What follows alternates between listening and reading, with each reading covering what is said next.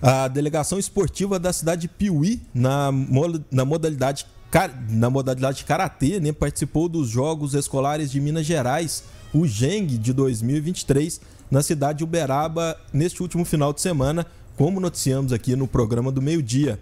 A equipe de Piuí contou com a participação de sete atletas e no final do evento fechou a competição com duas medalhas de ouro, uma medalha de prata e duas medalhas de bronze. Foram mais de 6 mil atletas de 1.012 escolas públicas e privadas de Minas Gerais. 277 cidades e 14 diferentes modalidades esportivas estiveram presentes neste evento. Bem, as atletas piuienses Isadora Beraldo, do Losango, e Maria Júlia, do Perfil, ambas campeãs mineiras de 2023 em suas respectivas categori categorias, protagonizaram uma das finais mais emocionantes dos Jogos Escolares de Minas Gerais.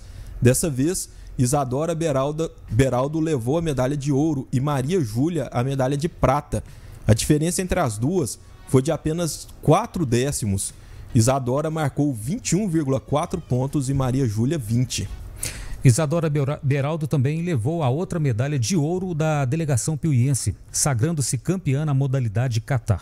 O técnico e professor Hernani Mello acompanhou a delegação e se disse extremamente feliz com os resultados, sendo que além dos dois ouros de Isadora e da prata de Maria Júlia, Lucas Talassimão Melo ficou com bronze, bronze no Catar e Lucas Landim com bronze no comitê.